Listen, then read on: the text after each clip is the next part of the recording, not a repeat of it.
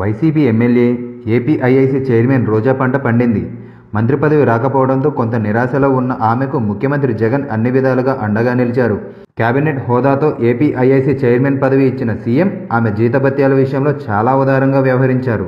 Nominated పోస్టుల్లో తన నమ్మిన బంటులను నియమిస్తున్న జగన్ జీతభత్యాల విషయంలో ఏమాత్రం పొదుపు పాటించడం లేదు.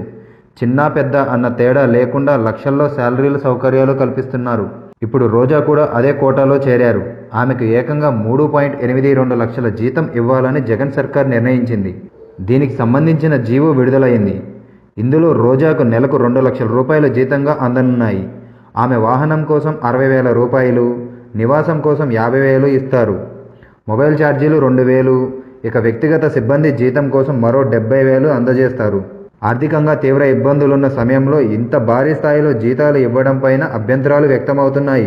పొదుపు పాటించాలని పదే పదే చెబుతున్నా జగన్ ఈ స్థాయిలో శాలరీలు ఇవ్వడాన్ని ప్రజా సంఘాలు తప్పుపడుతున్నాయి.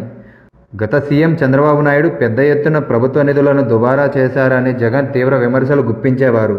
ప్రత్యేక విమానాలు హెలికాప్టర్లు వాడుతున్నారని ఎక్కువ ధర ఉన్న హిమాలయ వాటర్ బాటిల్స్ వాడుతున్నారంటూ విపరీతమైన ప్రచారం చేశారు. కానీ అధికారంలోకి వచ్చిన తర్వాత జగన్ కూడా అదే దారిలో నడవడం విస్మయానికి గురి చేస్తోంది.